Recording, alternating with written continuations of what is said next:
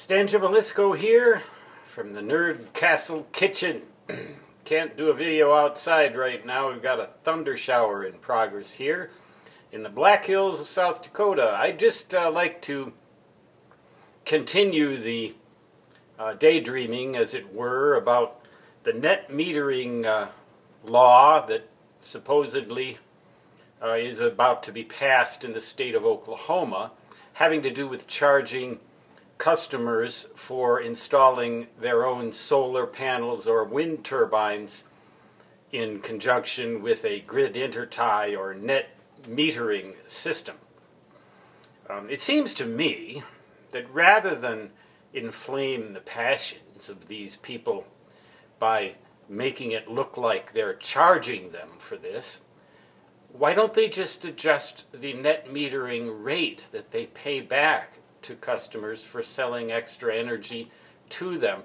They, there are a whole lot of issues here that I guess are kind of beyond me that I don't fully understand. But I am a little troubled, as I've said before, by the idea that the state could get involved in passing laws that allow corporations to do these kinds of things, which border on telling people what they can do on their own property. Now, I, uh, in my video um, in regards to the brainstorm for the Long Wave Ranch, where I would install a standalone hybrid solar and wind power system, uh, and also take advantage of the electric utilities, powering only the essential items with the solar and wind standalone system, which would be able to operate whether the utility was functioning or not, primarily involving the furnace and the pellet stove, which would then provide heat to the house even when the power went out. You know, pellet stoves have blowers in them that require electricity, and furnaces have blowers in them, in addition to electronics that require electricity. So I would want to be independent of the grid for that and also for my lighting, for my ham radio equipment.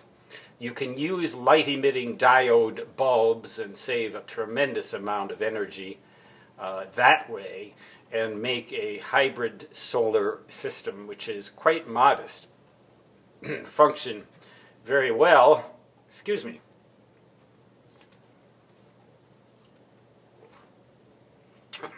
Got to have something to keep my Diet Mountain Dew cold, though. So I'd have to have a small refrigerator also, you know, one of those little one cubic foot things. And in case there were any pharmaceuticals, I don't take any pharmaceuticals actually, the, uh, any prescription drugs that require ref refrigeration. Well, yes, I do. Acidophilus, that's not a prescription drug, but it does require refrigeration. But the, the idea is that these systems are separate. There's a firewall between them. The utility company doesn't need to know that I'm even doing this. They don't need to know. I'm still buying electricity from them. I'm just a very, very conservative user of electricity when I get my bill. You know, when they look at my bill, they'll say, How do you how do you use so little electricity? And I just, well, I'm a environmentalist and a conservationist. That's how. But I don't have to tell them what I'm doing. But here's the rub.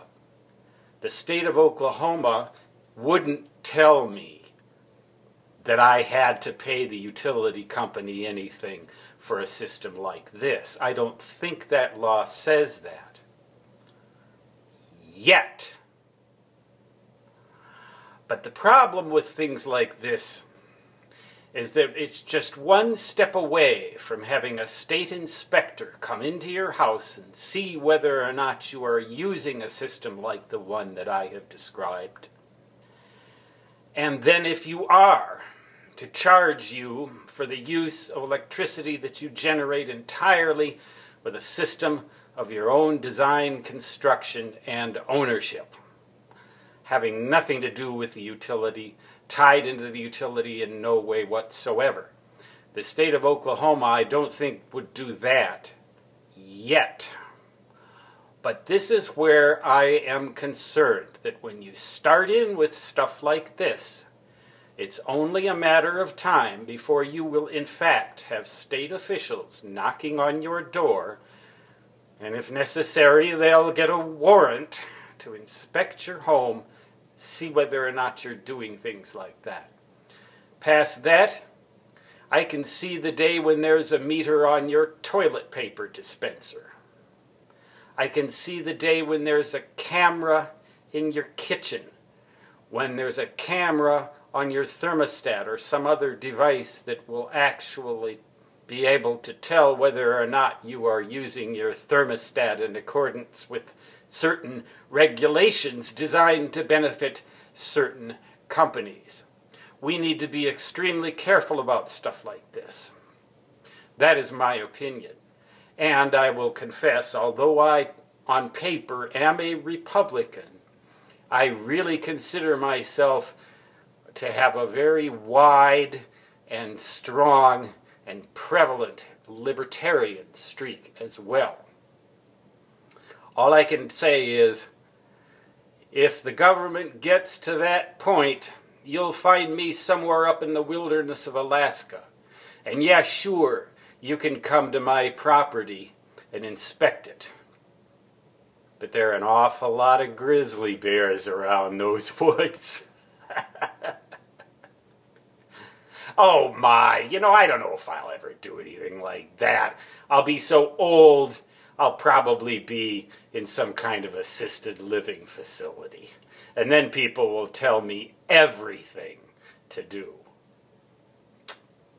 Oh gosh, I hope I don't get that old, to tell you the truth. I hope I can keep my health. How about you? I'll sign off for now. I've ranted enough, but I hope I've made a point. We gotta watch. I believe it was Thomas Jefferson who said, The price of freedom is eternal vigilance. It has always been thus. So long.